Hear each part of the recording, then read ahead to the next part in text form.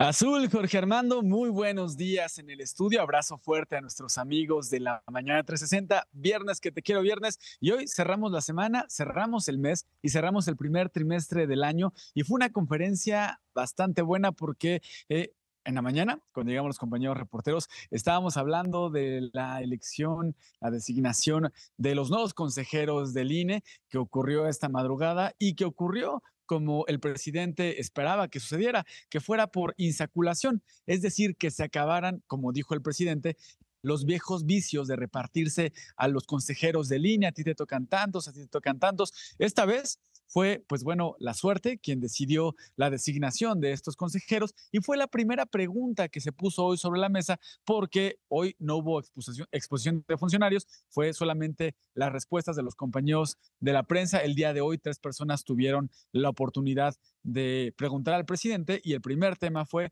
la designación de los nuevos consejeros del INE. Al presidente le preguntó cómo, veía esta designación, cómo se veía los consejeros. El presidente pues se dijo pues contento de que se haya resuelto ya, que haya sido de esta manera, que haya sido por insaculación, que no se repartieron como él lo haya pedido. Se le preguntó al presidente, oiga, presidente, eh, porque se empezaron a hablar de los altos eh, salarios que tienen eh, los funcionarios eh, que saldrán en próximos días, el 3 de abril, entre ellos Lorenzo Córdoba y Ciro Murayama, quien se van ya el 3 de abril del INE. Eh, recordó el presidente los altos, los altos salarios que tenían, el finiquito que se van a llevar, la lana que se van a llevar con los fideicomisos que tiene, y se le pregunta al presidente, ¿pedirá que los nuevos consejeros se bajen el salario? Y el presidente dice, sí, claro, Ojalá que todos que dejen de violar la Constitución, porque el presidente recuerda que en la Constitución se establece que ningún funcionario público puede tener un salario mayor al que percibe el presidente de la República. Otro tema que también se puso sobre la mesa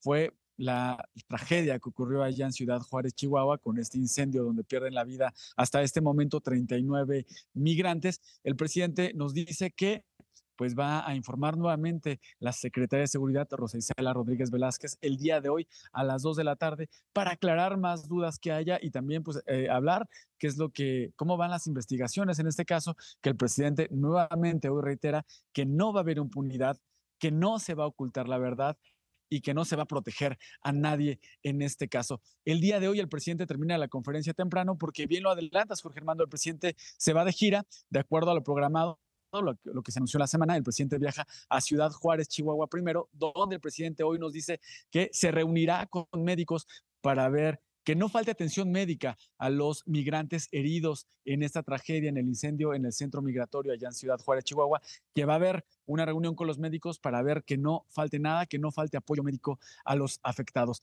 De ahí el presidente viajará también a Baja California, donde también verá temas de la construcción de los bancos de bienestar, la conectividad que tienen que tener las sucursales para que estén funcionando. Y de acuerdo también a lo programado, esta gira de fin de semana contempla visitar eh, Tepic, Nayarit y también eh, Culiacán, Sinaloa, donde se verán temas eh, de obras hidráulicas para que no falte agua en esas regiones. Jorge Armando Azul, un, un, tema que salió que el presidente, pues bueno, nos confesó, que nos anunció que Previo a esta tragedia, el presidente se había comunicado con el padre Sunalinde, un activista que ha seguido por muchos años el tema de los migrantes, eh, ayudándolos en los problemas que enfrentan los migrantes al atravesar por nuestro país. Y el presidente dice que estaba hablando con él para que se formara un consejo eh, que viera que viera por que no se violen los derechos humanos de los migrantes. El presidente dijo, pues eh, el padre Sonalinde podría ser un integrante honorario de este consejo, pero ocurrió esta tragedia en Ciudad Juárez, Chihuahua. Ah. Jorge Armando Azul, muy breve resumen de algunos de los temas más importantes que se pusieron sobre la mesa el día de hoy en esta conferencia matutina de viernes. ¿Qué les parece? Oigan, y por cierto, hizo el ajuste el presidente López Obrador en su expresión respecto al plan C, porque el plan C es ni un voto a los conservadores, pero como ya en el INE se quejaron, ¿Y quién se quejó? Kenia López Rabadán, senadora del PAN, también los del PRD. Y los del INE, pues como les encanta jugar para ese equipo, dijeron, sí, sí, sí, hay que bajar todas esas expresiones y le ordenan a la presidencia eh, cercenar las mañaneras en lo que hace los videos que ya hay ahí, hay que censurar esa parte, hay que quitarla, hay que extraerla. Y dice López Obrador, bueno, pues vamos a hacer el ajuste. Ahora será ni un voto a los corruptos, ¿no?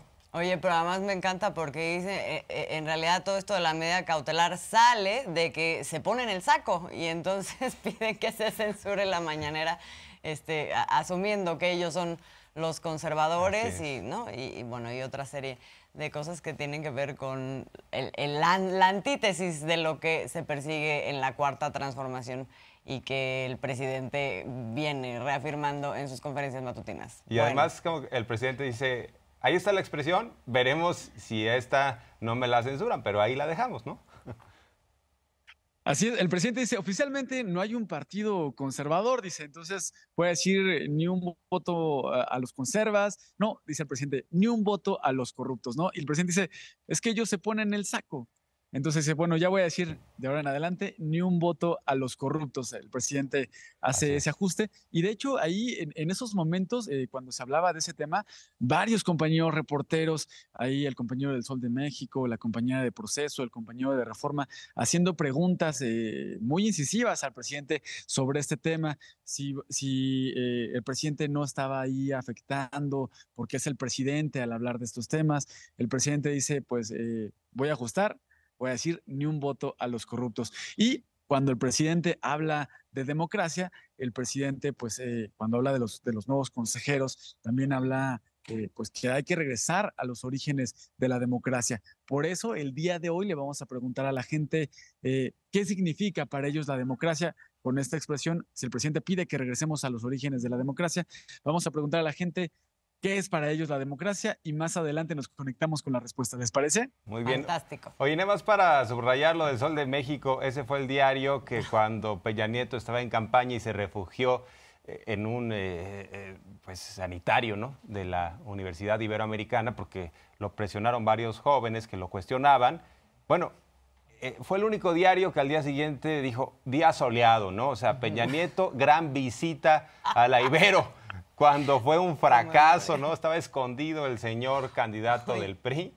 Eh, pero bueno, nada más para ir aclarando paradas, como dice López Obrador. Oye, pero es cierto que tienen un salón que se llama Enrique Peña. Sí, eh, sí lo comenté. Eso salió hoy, ¿no? Eso, eso salió el día de hoy. El presidente dice, me comunica Jesús Ramírez, que me está soplando, que allá eh, en el Sol de México tienen un salón que se llama eh, Enrique Peña Nieto. El oh. compañero del Sol de México dice, lo desconozco, sería bueno que, nos, que nos, mostrara cuál es. Eso fue lo que se puso en, este diálogo circular entre el presidente y los compañeros reporteros, que la conferencia del día de hoy se puso bastante, bastante buena. Jorge Armando Azul, nos conectamos más adelante con las respuestas. Nos vemos, estimado.